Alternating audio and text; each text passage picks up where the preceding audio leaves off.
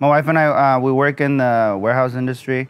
I think for us, the train of thought behind that was that you know when we buy a house, are they going to look at our job and be and be like, okay, maybe they can get terminated the day of tomorrow. Like maybe they'll see it as as as a downfall. The first time we thought about it was when we were renting and we were told to move out within a month and a half because the house was going up for sale.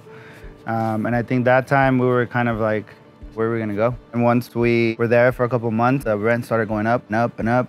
We didn't really think that we were able to because of our credit or because of how much we made. And then we talked to John, started looking into it. We applied, and then within in that same day, we, they called us back and they told us, "Hey, you guys qualify. Everything looks good. I don't see why you guys didn't do it earlier." Like again, it's just getting educated and, and seeing that you know, it's it's possible.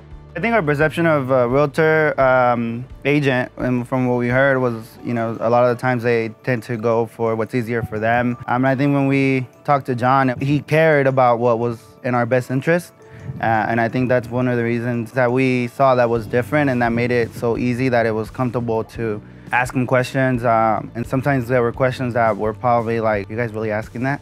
We couldn't believe it. Like we just wanted to, you know uh, jump for joy and scream and like little kids, you know. Definitely, you know, just eye opening for us how you can be misinformed and not know your possibilities.